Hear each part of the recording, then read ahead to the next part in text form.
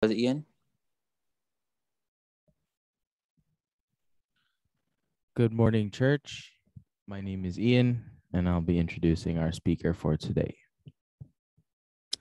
Thanksgiving had just passed, and it wasn't the festive, it wasn't that festive as the Thanksgiving we've had in the previous years.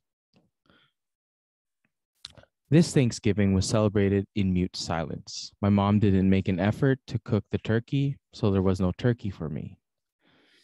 Speaking of turkeys, we're not the only ones complaining about the lackluster Thanksgiving this year. Snoopy, a character from Peanuts, was complaining as well. On this Thanksgiving dinner, he just had dog food. Snoopy looked at his bowl and said, That isn't fair. The rest of the world today is eating turkey with all the trimmings, and all I get is dog food. Because I'm a dog, all I get is dog food. He stared at his food for a while and said, I guess it could be worse. I could be the turkey. Cheer up, guys. Like Snoopy, let's stop complaining about the missing turkey, the fun fair, and or this raging pandemic because it could be worse. We could be the turkey. Let's listen now to Pastor Greg as he reminds us to learn how to be thankful for what we have. Welcome again, Pastor Greg. Uh, thank you very much for that wonderful introduction. Uh, learning to be thankful in extraordinary times. Uh, let me share screen and uh, this uh, evening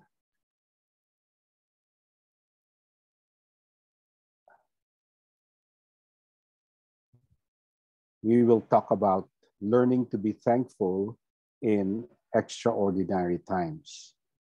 Once again, I would like to express gratitude for inviting me again uh, to speak in your church. Every time uh, people ask me, uh, where will you be speaking this weekend? I tell them I'm going to Canada. And they're always surprised by that kind of an answer and uh, I truly enjoy looking at their faces when I tell them that I'm going to speak uh, in Canada. So thank you for inviting me. Uh, my friend, uh, your speaker last Sunday, uh, Pastor Steve Merpuri, uh, told me that he shared from Colossians chapter 2, 6 and 7, and uh, this was also confirmed by your leaders that uh, he did not include the passage that we will be discussing tonight.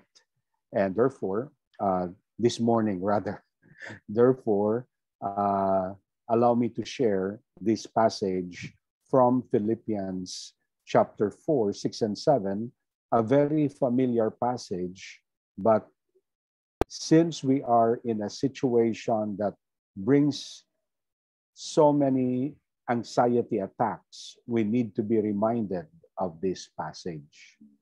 Now, what are these extraordinary times? Uh, the brother of Roland, uh, Bong or Rudy Yumul Jr., uh, works with Unilab and as a senior officer of that company, they normally have people to talk to them about how they could better plan for the future. And uh, Brother Bong shared with me that one of the things that they are discussing nowadays in uh, management is that we are all living in a VUCA world. Now, what is VUCA world? VUCA stands for volatile, uncertain, complex, and ambiguous. Volatile, uncertain, complex, and ambiguous. So when we think about VUCA, volatile, primarily it is the rate of change before, if you are let's say, producing a product, it would take around 15 to 20 years before that particular product changes. But now, because of the digital nature of our uh, era, there is this average product life cycle of merely one to five years. So the more volatile the world is, the more faster things change. That's why uh, people are so stressed uh, because uh, of the volatility of our uh, world. Second, of course, we are familiar with uncertainty. We are so unclear about the present and how can we prepare for the future if even the present is very unclear. We don't have the information that could help us make wise decisions. Even companies nowadays, uh, not only, of course, companies, parents, families, individuals, have difficulty planning for 2022. Some, when they look at their calendars, it is empty. They don't know what to write on their calendars because of the uncertainty of tomorrow. Not only that, the complexity of our world. Uh, we know that uh, we need information uh, so that we could make wise decisions. And when we talk about complexity, there is this interconnectivity of many things that causes us to think how can all these connections matter as I make the decision. So the multiple key decision factors causes us to be in a complex world. And of course, lastly, would be ambiguity. Many things become so unclear, that is why it also affects what would happen uh, in the next few weeks, few months, and even the years to come. Let me just cite one example. My brother-in-law is coming over from the US because from the Philippines, he traveled to New York so he can fix some of the documents of his daughter. They lived in New York for 12 years, but because he, he doesn't want uh, to raise up his daughter uh, in an environment like New York, he decided to come home to the Philippines and establish a dialysis center here. But upon checking on their documents, he needs to go to the US to uh, perhaps uh, update some of their uh, documents, especially for his daughter. Now, uh, leaving the Philippines September, we were advised that he needs to book for a hotel in advance that the moment he comes home to the Philippines, there is this 10-day quarantine mandatory for all travelers coming from the USA. And while he was there in the US, we received again another uh, advisory telling that he can only be quarantined for five days. And on the fifth day, you get your RT-PCR. So if you get negative, you can continue your quarantine at home. And then recently, we received again another news that there is no more quarantine for countries coming from uh, what they call the green countries. And uh, recently we had people coming home because of some uh, uh, family reasons. Uh, one of those came from Abu Dhabi, and we realized that Abu Dhabi is a yellow country. That's why, upon arrival, he was requested to stay five days in the hotel. Then, on the fifth day, he gets his RT-PCR, and because of that, hopefully, he would be released on the sixth day. So, in this month, so many things happen. Uh, there are so many changes, so many different rules, so many different policies. That's why, even as a church, we cannot plan whether we will do face to face worship as well. Uh, there was a time we did face to face worship, but after a week, we need to cancel it and return to digital worship, like what you are doing. So, because of the volatility, uncertainty, complexity, and ambiguity of our time, all of us are truly affected. Now, with, with this kind of an environment, we end up experiencing anxiety. Now, uh, earlier during our worship celebration, uh, we had what we call a technical difficulty. Our speaker uh, went to the province and spoke from the province, hoping that he would have a strong internet. But sad to say, in the midst of his uh, preaching, he was cut. Therefore, I need to come into the picture to preach. It is good that uh, I had this message prepared for you tonight. So I was able to preach this message this morning uh, because uh, of technical challenge uh, during this uh, uh, digital ministry. So uh, it is very difficult when we experience these things.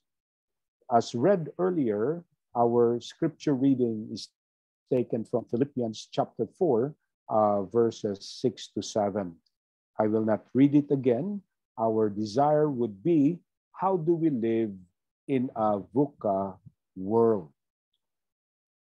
The main idea would be let us learn to be thankful for his presence and his peace. Let us learn to be thankful for his presence and his peace. So let's first talk about learning to be thankful for his presence. It says, Be anxious for nothing, but in everything by prayer and supplication with thanksgiving, let your request be made known to God. So when we think about uh, the command, be anxious for nothing, it means to have an anxious concern based on apprehension about a possible danger or misfortune. Now, the church in Philippi was commanded by the Apostle Paul not to be anxious about anything and everything because uh, Perhaps he noticed that they were concerned about his situation as a missionary. They were concerned about the false teachers that abound. They were concerned about the leadership factions that uh, they were noticing. Even the Apostle Paul wrote that there should be unity among uh, those uh, serving, especially in the leadership. That is why the Apostle Paul said, Do not be anxious for nothing. Now, to be anxious, when we think about this word, uh, it is a disorder that causes nervousness, fear, apprehension, and worry. So, anxiety, it becomes a problem if it affects our eating, our health, our sleeping, on overall our quality of life. Some of us, like uh, perhaps me, uh, it affects our eating. Uh, we call that stress eating. Uh, we enjoy food whenever we are anxious. Some cannot eat. Uh, some sleep and uh, continuously sleep, even though it is already uh, the, the day is already high, uh, they still are in bed. Some uh, could not barely sleep. So try to think how does anxiety affect you? Now, during quarantine, it has been noticed that there is what we call quarantine fatigue. I envy all of you that you already had your face to face retreat and camps. So that was a good experience indeed. Now, here in the Philippines, we have uh, changed our uh, quarantine levels instead of enhanced community quarantine, uh, instead of general community quarantine. We are now using level four, level three, level two, and level one. So everybody is already tired of the word quarantine. Now, when we think about this, uh, the effects would be exhaustion, detachment from others, anxiety, irritability, insomnia, poor concentration, indecisiveness, deterioration of work performance, reluctance to work, or even consideration of resignation. Again, uh, talking about the company of uh, Bong Yumul, uh, they observed that they had a, an increase uh, in medical orders as far as mental health medicines are concerned for so many struggle with anxiety attacks and depression. So there is high demand on the medicines that deals with anxiety attacks and depression. So we are commanded in the Bible not to be anxious about anything. So whatever fills our mind that causes you to be nervous, fearful, or worried, that is included in this command. Now, the cause of anxiety is basically a distrust of God. Now, there is a direct connection of the antidote to anxiety to prayer. That is why we see that there is this in everything by prayer and supplication with thanksgiving. Let your request be made known to God. Now, this summarizes the types of prayer mentioned. First, prayer is simply to speak to God. We are taught by the Apostle Paul to pray unceasingly. So, if we want to deal with our anxieties, we can just talk to our Creator God, the maker of heaven and earth, and just release anything that bothers our mind. That is a lifestyle of talking with God. But there's difference between prayer and supplication. Supplication is basically to plead, to beg, that which is asked with urgency based on presumed need. So, uh, not all crises, not all uh, problems, not all uh, difficulties are in the same package. Some indeed uh, demands us to plead before God, to ask for His mercy, to ask for His grace, to ask for His compassion, that He may look upon with favor on what we are asking for. And that is supplication. And then, thirdly, uh, we pray, we do supplication, and then thanksgiving. Thanksgiving is to express gratitude for benefits or blessing. We all have learned that when we thank God for the blessings already received, it is gratitude. But when we thank God for blessings that we anticipate God would give us, then that is an expression of faith. So, three types of prayer would be prayer, supplication, and uh, thanksgiving. The principle that we have would be whenever we are anxious, learn to be thankful in His presence. Now, let me share with you a testimony shared to us by an, uh, one of our board of mission uh, leaders. This is not my story. This is His story through me. Several decades ago, I read a testimony of a Christian who suffered so much. The author described him as to have received a bouquet of suffering. I never knew that such would be a reality to me until I was diagnosed with breast cancer in 2008 and my beloved mother in 2012 and she eventually died 2016. Then in October 2017, I found that my breast cancer metastasized in the lungs. My two sisters were diagnosed of the same cancer. The second in 2018 and the youngest just last year. The photo was taken in January 2021. Uh, it was my youngest sister's first cycle of six chemotherapy sessions and my first of the sixth chemo drug. Presently, I'm on my seventh.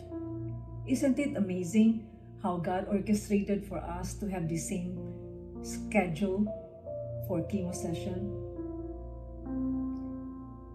Both of my sisters are taking adjuvant treatment at present, oral medication. Many times, I pleaded to God to stop. And yet, my God, who always does what is good for me, deemed it best to handcraft a bouquet of suffering.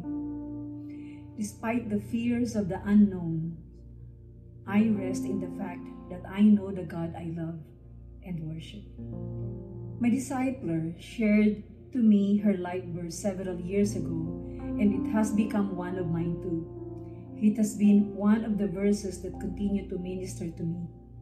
In Jeremiah 9 23 to 24, it says, Thus says the Lord, Let not a wise man boast of his wisdom, let not the mighty man boast of his might, let not the rich man boast of his riches, but let him who boasts boast of this, that he understands and knows me that I am the Lord who exercises loving kindness, justice, and righteousness on earth. For I delight in these things, declares the Lord.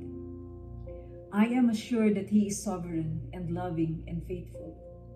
These past four years, God handcrafted several bouquets of sufferings, customized for my bents, personalities, blind spots, so that I will experience the reality of Christ's presence and the transforming power of His Word in my life. When I needed 200,000 a month for 13 months, He provided lovingly. Until now, He never fails to provide for all my needs. When I feel pain, He made me feel a fraction of His own suffering to redeem me. His presence refreshes me. When mouth sores made it difficult even to open my mouth to talk, He heard my silent prayers in tears. He wiped them dry and responded to my cries for help. My appearance changed, my skin turns dark, my hair falls, but even then, He reminds me that He chose me not because of how I look, I continue to be the apple of his eyes. He loves me unconditionally, warts and all. When my taste becomes weird for three days in a week, just like right now, he makes me remember the stock knowledge I have from my previous work in a flavor company. So wonderful is he that I knew he let me have the skill to sustain me during these times. When my brain becomes foggy after chemo, he stands as my wisdom. In times of physical weakness and sleeplessness, He is literally my strength and rest. My God, who never slumbers, watches over me when I'm tired yet wide awake. When my emotions run low and thoughts wander, He lifts me up through His songs. He takes my thoughts captive to obey Him he holds my frail body all together. He never failed me, ever. He sustains me in His overflowing grace. He teaches me how it is to literally depend solely on Him. For apart from Him, I can never really do anything. It is by accepting my bouquet of suffering as a gift that I realize how much and how deeply He loves me. He used my weaknesses to keep me from relying on my strengths, skills, and talents as if they were my own. All those came from Him anyway. He knew my propensity for independence. I proclaim with Paul um, what he wrote in 2 Corinthians 12 9. But he said to me, My grace is sufficient for you, for my power is made perfect in weakness. Therefore, I will boast all the more gladly about my weaknesses so that Christ's power may rest in me. Without the bouquet, I could be puffed up. I would not have enjoyed the special presence of our indescribable gift that only those who are weak like me can identify with. The giver of my bouquet of suffering is both my Creator and my Redeemer. He stands strong as my hero and my shepherd. He is for me. This is His story.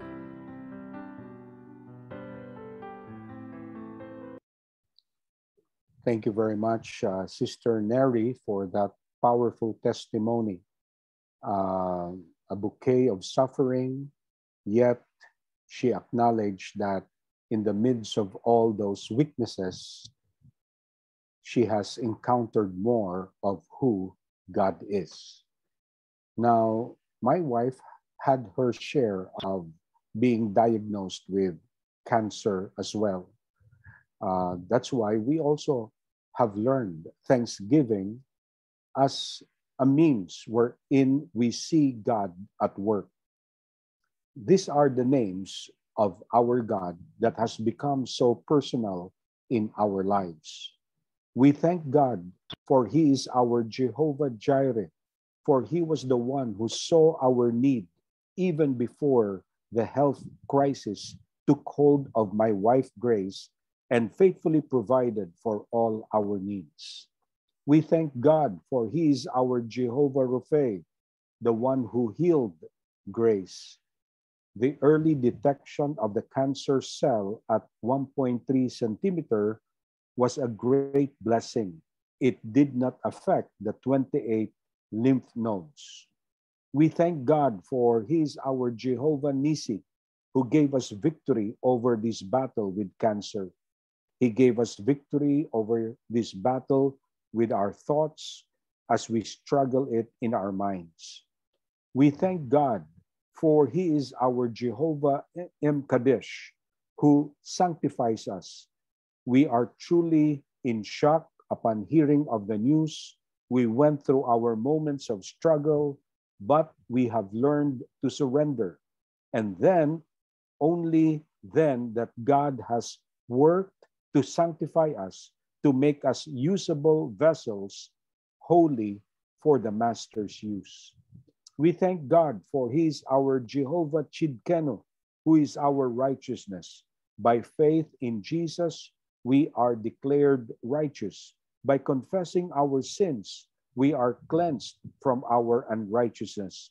By walking in the path of righteousness in the power of the Holy Spirit, as revealed in the Word, we experience daily righteousness.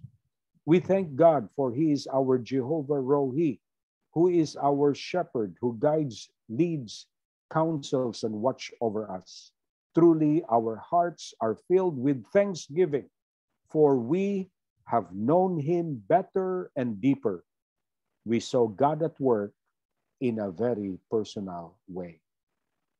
That is why, especially during moments of anxiety, let us not miss the opportunity to get to know who God is.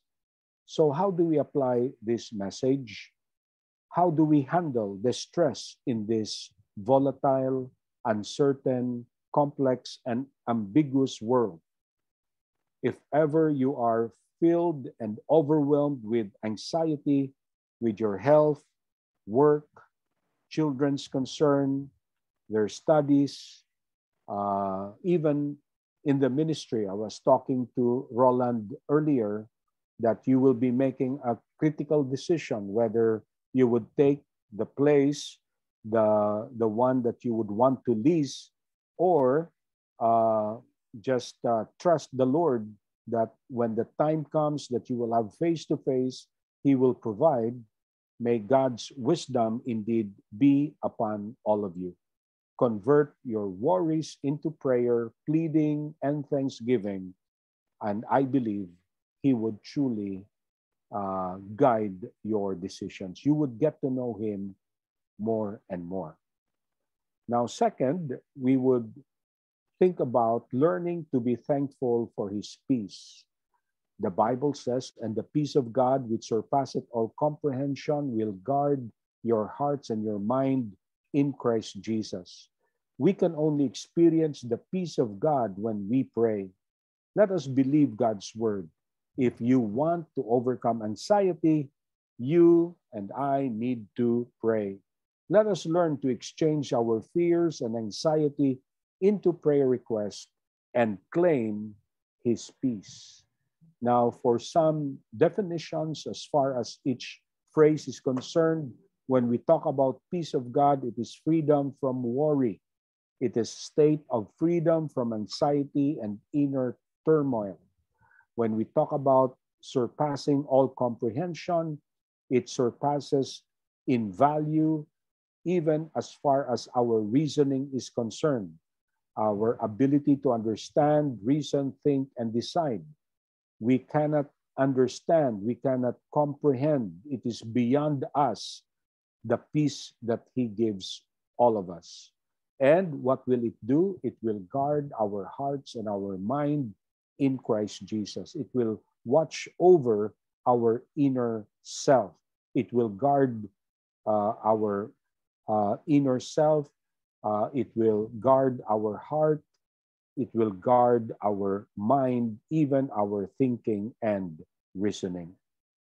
Now, the Bible tells us in Matthew chapter 6, 31 to 33, that do not worry then, saying, What are we going to eat? Or what are we going to drink? Or what are we going to wear for clothing? For the Gentiles eagerly seek all these things for your heavenly Father knows that you need all this. But seek first the kingdom of God and his righteousness, and all this will be provided for you. Now, where do we get this peace? Jesus promises, Peace I leave with you, my peace I give to you. Not as the world gives, do I give to you. Do not let your hearts be troubled, nor let it be fearful. Also in John chapter 16, 33, these things I have spoken to you so that in me you may have peace. In the world you will have tribulation, but take courage. I have overcome the world.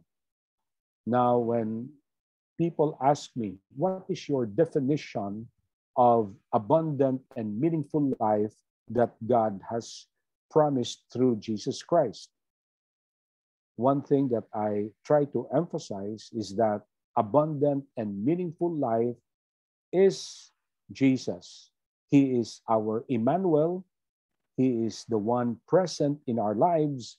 And when He is present, yes, we may be exempted from trials, troubles, and difficulties, but because He is present, his peace also abounds. Now, our principle would be whenever we are anxious, learn to be thankful in his uh, for his peace. Now, not only uh, for his presence, but also for his peace. Now, I would like to stop share at this time and ask Ray Yumul to share with us his story. Good morning, brothers and sisters in Christ at FCC. Uh, I, I choose to be thankful because God is good. Thank you for this opportunity that I can also share my testimony, my God story regarding Philippians 4, 6, and 7. Truly, we are indeed on a tough situation, but we all know that uh, the famous uh, saying, uh, toughness brings the toughest tough situations in our lives and we continue to increase our faith and god gave us this opportunity to really be close to him to our network of relationships and develop our character the character of our lord and savior jesus christ uh, today i will share to really learning to thank god for his peace biblical peace is not something I can create on, our, on my own. It is a fruit of the Spirit. It is the inner peace, the peace of mind, the seren- serenity and calmness from the author of our faith, our Lord and Savior, Jesus Christ. The question for me is God under control of my life? Why so I am anxious? And why so I am worried a lot? as Pastor Greg has mentioned, these are we call the the aggressive adversaries that are that our foe is using in order for us to get our eyes off our Lord and Savior Jesus Christ. Tonight, I would like to share to you my journey in the faith. First of all, we and I have so many reasons to thank for no? the the the time I'm here, I'm really be thankful and grateful for this opportunity to be encouraged by your FCC family. And I hope you will be encouraged in my God story. Last April 25, I'm supposedly flying to the United States to finally meet with my family. Kuyala and uh, Pastor Greg and Ate Aida knows that I've been really months, years away from my family. And seeing them is really a great blessing to me, though I see them virtually. But face to face is really what I really desire uh, in my life. I know God prepared everything and allowed me finally to purchase my ticket to the United States. That was April 25 as a policy for us dito sa Pilipinas, visiting United States, we have to avail of our RT-PCR test before the said flight. Three days before, we have to be tested for us really to be cleared at the airport. So with all the excitement and confidence that my result will be negative, should I say, because we all know God desires all good things sa kanyang mga anak. So I think uh, April 24, uh, around 10 p.m., I finally received an email from my test. Upon viewing my email, alas, I tested positive for COVID. Wow. When I read that read that email, I was shocked. And sabi ko nga, bagsak balikat ko, and I really cried knowing that news, meaning I have to postpone my trip, I have to be quarantined for almost 21 days for a month and be with Mr. COVID for the following days. I started to call my mentors, my kuya, Pastor Greg, and share to them, should I say that great news? I know God has plans for me, and I know God has delays, purpose for this for these delays. They prayed for me and inspired me through the word of God. They quoted Philippians 4, 6, and 7. Do not be anxious for anything, Ray, but by prayer and thanksgiving, let your request be made known unto God. And the peace of God that transcends all understanding will guard my heart and mind in Christ Jesus. The same night, brothers and sisters, I was at peace with my situation. I remember King David in Psalm chapter 3 when he was really being pursued by his son, no other his son, Absalom. He cried unto the Lord, and the Lord gave him the gift of sleep and the gift of waking up this every morning. It was that peace that transcends all understanding that indeed guarded my heart and mind in Christ Jesus. And almost a month, so I test I got tested again. And the Lord answered my prayer. I tested negative. And finally, last May 25, I did travel to the United States and be with my family. I know God has its purpose for my delay. And that peace that transcends all understanding will continue to reign in my heart.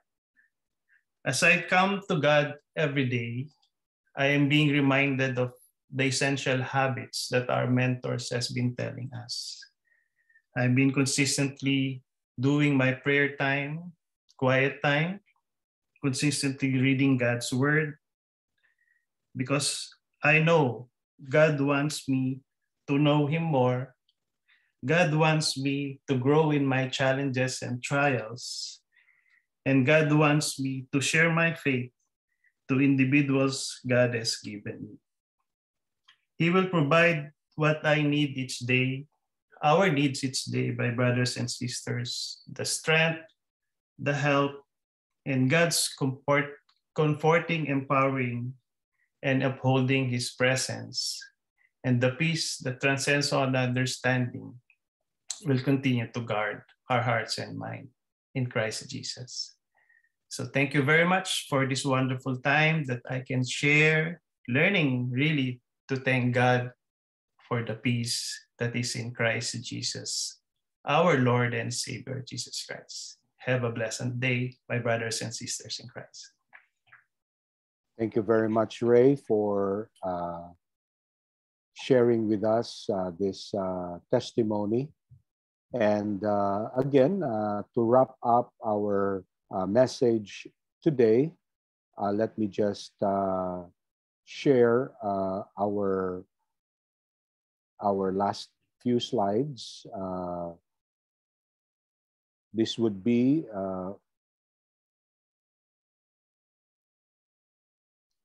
whenever we are faced with anxiety attacks in this VUCA world, we are advised or commanded rather by the Apostle Paul, uh, 1 Thessalonians 5, 16 to 18, rejoice always, pray without ceasing, in everything give thanks, for this is the will of God for you in Christ Jesus. Now, let us try to internalize this uh, message I saw this and I think this is very much applicable uh, in our time. Please read slowly. If you have food in your fridge, clothes in your body, a roof over your head, a place to sleep, you are richer than 75% of the entire world. If you have money in your wallet and can go anywhere you want you are among 18% of the world's most wealthy people. If you are alive today and healthy, you are more blessed than the millions of people who will not survive this week and die. If you can actually read and understand this message, you are more fortunate than the 3 billion people in the world who are blind, deaf, or illiterate. Life is not about complaining. Life is about a thousand of reasons to be grateful and happy.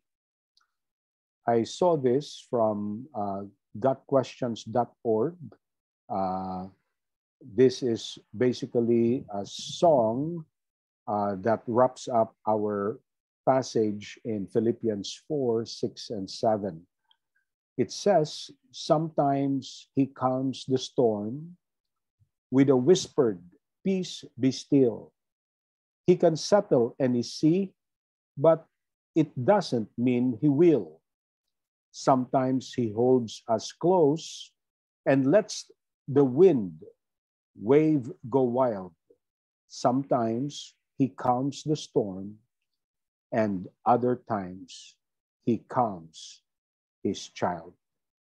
Let us go to God in prayer.